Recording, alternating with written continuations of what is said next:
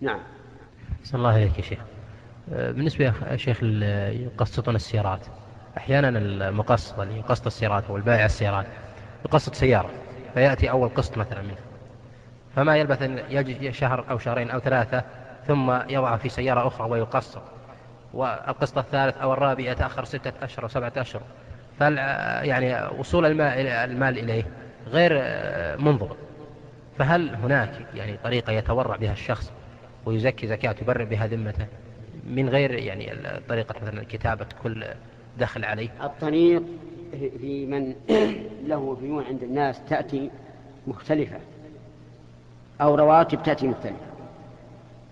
إذا جاء وقت الزكاة يحصي ما عنده وما في ذمم الناس ويزكي وتبرأ الذمة ويرتاح. يعني مثل الإنسان زكاته في رمضان. نقول إذا جاء رمضان أحصي ما عندك من النقود ثم أضف إليه الديون التي في ذمم الناس ثم أخذ زكاة الجميع. وتستريح.